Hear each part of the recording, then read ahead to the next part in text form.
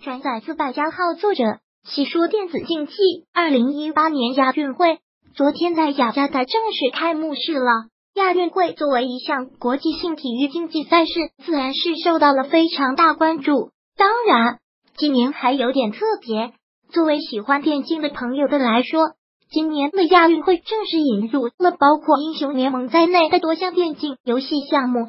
尽管今年电竞比赛是作为表演项目的形式存在今年亚运会的舞台上，但是这或许是电竞成为亚运会正式项目的基础，也是为了以后正式进入奥运会迈开了艰难的第一步。很多网友曾经都抱怨过，在亚运会电竞项目预选赛开打的时候，多少网友是渴望了解现场的比赛情况，就像我们看 LPL 正常比赛那样。还有解说在分析解说比赛，然而全程保密，有点尴尬。不过好在亚运会电竞项目小组赛的时候是全程对外公开的，而且央视还宣布会对现场的电竞比赛进行直播。这对于很多网友来说是一个好消息，终于能够看到了第一次真正意义上的电竞国家队之间的较量了。既然会有现场直播，那么演播室自然会有嘉宾来解说。于是乎，很多网友就非常好奇，L O L 项目的解说嘉宾会邀请谁？有没有 L P L 人气最高的黄金搭档米勒和娃娃？有没有氧气瓶解说浩凯？虽然官方没有公布嘉宾解说嘉宾名单，但是来自不灭之握刃动的直播透露，这次担任亚运会 L O L 解说名单有四人，分别是十一、雨桐。王多多和 Vita 遗憾的是，亚运会没有采访，自己很想参与到其中。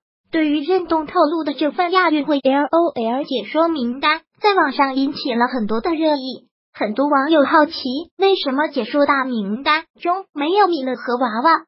尽管他们说过自己放弃这次机会的，为什么这次解说嘉宾都是解说新人？好像除了王多多，其他三个说实话比较混。有人就提出自己的理想解说阵容：米勒、娃娃、记得、管泽元。或许这是很多人理想的解说轮换阵容。